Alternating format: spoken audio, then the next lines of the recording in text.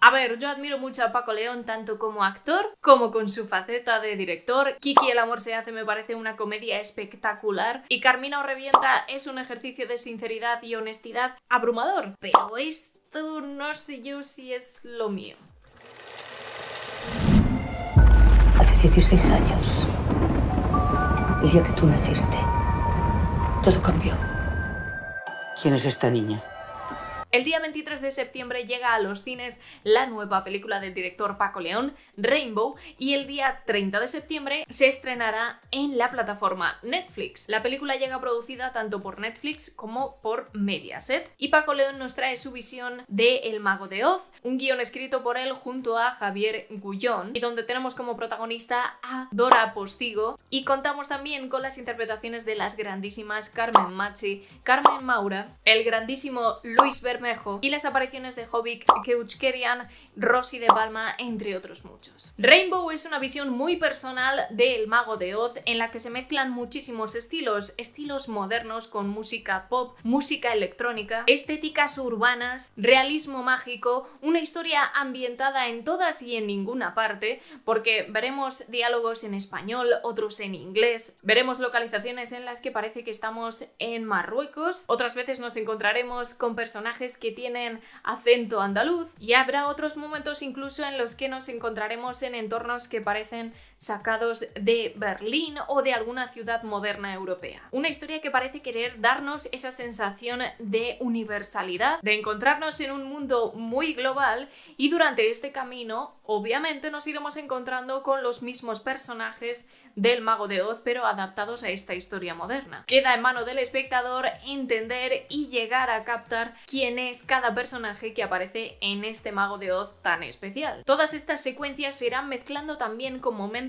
musicales que personalmente para mí no funcionan demasiado bien y rompen el ritmo y el tono de la historia que estábamos contando y también encontraremos momentos para digamos que cierto surrealismo o realismo mágico que en mi opinión también hace que dejemos de estar con los pies en la tierra y la película sea difícil de seguir en algunos momentos. Personalmente creo que la duración tampoco ayuda mucho, encontrarnos cerca de las dos horas es difícil de trabajar y hay momentos en los que parece que la cinta no va a ningún sitio y que no tiene intención de contarnos nada al final de ese camino, sino simplemente utilizar este mago de Oz para hacer como un ejercicio visual y artístico que funciona muy bien y que obviamente es Paco León al 100% después de todos estos años desarrollando su estética y su dirección, nos deja clarísimo cuáles son sus referencias, empezando por supuesto por Almodóvar y esos colores y esa estética, mezclando lo tradicional con lo moderno y tener presente a Carmen Maura y a Carmen Machi, además de las apariciones fugaces de Rosy de Palma nos hacen volver otra vez al mismísimo Pedro Almodóvar. Las secuencias en las que comparten diálogos Carmen Maura y Carmen Machi son lo mejor de toda la cinta. Ellas son capaces de levantar la calidad y expresar esos diálogos de una manera tan excéntrica pero a la vez tan natural que funcionan a la perfección. Y cuando volvemos otra vez a esas escenas con nuestra protagonista, he notado un poquito más de ese artificio y menos naturalidad. Paco León se rodea de todos sus amigos y de muchos influencers, muchas celebridades que vais a ir viendo a lo largo de esta película y que seguramente reconoceréis. En mi opinión también Paco León cae en algunas contradicciones, no sé si era su intención precisamente, nos presenta un mundo de postureo y de artistas que intenta mantener esa imagen de perfección, para luego criticar ese mismo postureo. Entonces no se llega a entender muy bien cuál es la idea, no sé si quiere criticar ese postureo o quiere ensalzarlo en algunos momentos. Es un poco confuso. Me he encontrado con algunas secuencias que han sido un poco incómodas para mí por esa falta de naturalidad,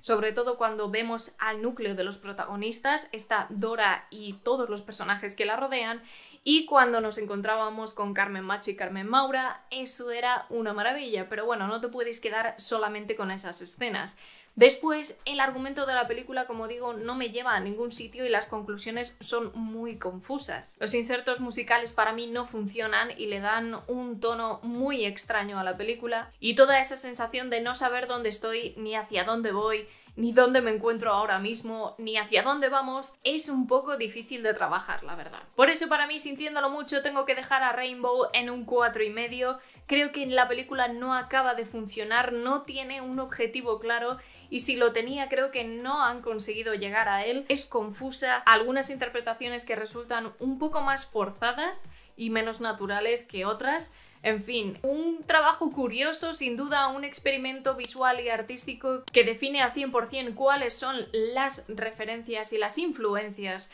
de Paco León como director, y como artista, pero más allá de eso creo que es una visión fallida del mago de Oz y que no nos lleva al final del arco iris, sino a un final que te deja con muchas dudas y sin saber muy bien hacia dónde quería llevarte. Así que cuando veáis la película a partir del 23 de septiembre en cines y del 30 de septiembre en Netflix, por favor dejadme vuestra opinión aquí abajo en la caja de comentarios, me encantará saber qué os parece, quizá tengáis una opinión distinta a la mía y os encante la película, me gustaría saber por qué. Y os recuerdo que os podéis suscribir a mi canal, que es totalmente gratis y me ayudas un montón, y si quieres colaborar un poquito más puedes hacerte miembro dándole al botón unirse que aparece por ahí abajo. Os dejo por aquí algunos vídeos que puede que os interesen y ya sabéis que nos vamos a ver dentro de muy poquito. Cuidaos un montón